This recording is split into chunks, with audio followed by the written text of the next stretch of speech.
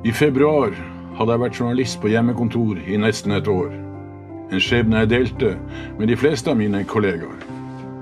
Det skjer lite på et hjemmekontor som er verdt å skrive om i en internasjonal avis for Arktis og nordområdet. Og på det sentrale østlandsområdet er mer enn en fjerdedel av Norges befolkning siden forrige helg omfattet av svært strenge smitteverntiltak. Etter 141 pressekonferanser med regjeringa, sendt fra de samme smittekontrollerte regjeringskontorene i Oslo, hadde jeg fått nok. Og så har det selvsagt enorme konsekvenser for norsk arbeids- og næringsliv. Mange norske bedrifter er helt avhengig av utenlandsk arbeidskraft, og uten den tilgangen så vil det gå utover de norske arbeidsplassene også. For journalistikk handler om å møte mennesker, om å fortelle historier.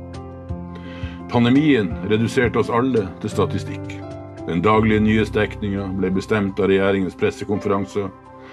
Derfra fulgte journalistene smittesporene fra sitt hjemmekontor. Men fordi smitten aldri fikk helt grep om nordområdene, om Nord-Norge, forsvant vi sakte, men sikkert ut av nyhetsbildet. Nå sier ordførerne i Bodø, i Alta og i Tromsø at eh, jo, det er det gode grunner til. Gunnar Wilhelmsen, du er ordfører i Tromsø, og du er da en av dem som insisterer på å ha denne søringkarantenen, som det kalles nå. Hvorfor det? Nei, det er for at det er nødvendig. Vi har gjort en del tiltak som regjeringa ikke har gjort. Søringkarantena var et slags unntak ei stund. Vi eksisterte bare som koronapasienter. Uten smitte var vi ingen nyhet. 15.2.2021 hadde jeg fått nok. Ikke bare av de daglige, offisielle pressekonferansene, men også av digitale menneskemøter. Med en leid bobil som hjemmekontor, drevet av en intens trang til å møte mennesker som levde i skyggen av pandemien, la jeg ut på en tre måneders lang reise i nord. Nødvendige arbeidsreiser var lov, selv om de færreste journalister reiste. Og i den grad de reiste, var det til Brussel og New York.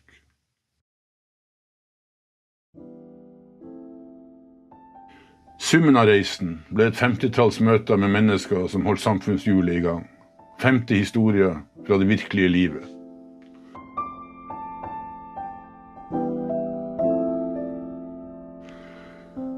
Ikke en eneste statsråd, ikke en eneste representant for helsemyndighetene. Ikke en eneste statsautorisert meningsytring. Bare det daglige livet, slik det arta seg. Noen dagsreiser fra det offisielle Norges jerngrep rundt nyhetsformidling.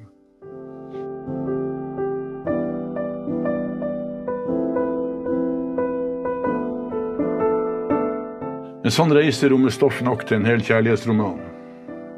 Jeg forelska meg i Vardø, jeg fikk hjertebank i Vesterålen og ble varm langt inn i sjela ved den iskalde grensa mot Russland i Pasvik.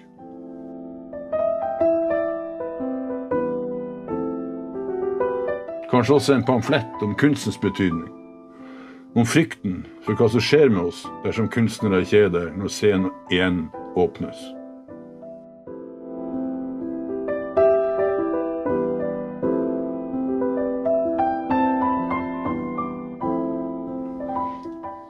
Stoff nok kanskje også til ei lærebok ved utdanningsinstitusjonene våre. Om en internasjonal landsdel som gjerne ser forbi Oslo når innovasjon og marked skal utvikles for framtida.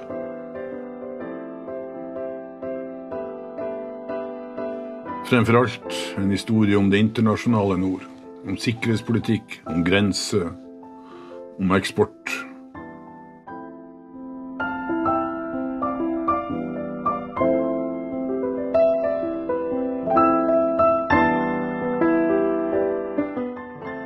Et innspill, kanskje, til politiske partier som kjemper om velgere i nord. Historier om en landsdel som skriker etter flere innbyggere for å fylle de arbeidsplassene vi allerede har, mens partiprogrammet tror det eneste som mangler, er arbeidsplassen.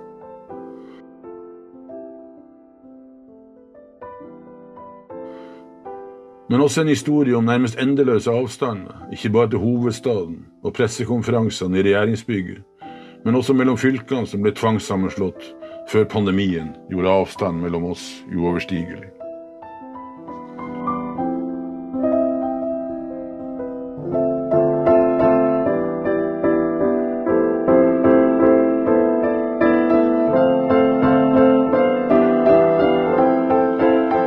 Sterkest likevel å kunne se folk i øynene igjen, ikke bare flakkende piksler over en dataskjerm men ekte mennesker med det samme savnet som jeg bar på. Å kunne møtes ansikt til ansikt. 50 unike møter i skyggen av pandemien. Så takk alle sammen som tok imot meg. Takk hver enkelt av dere for kunnskap, for varme og raushet.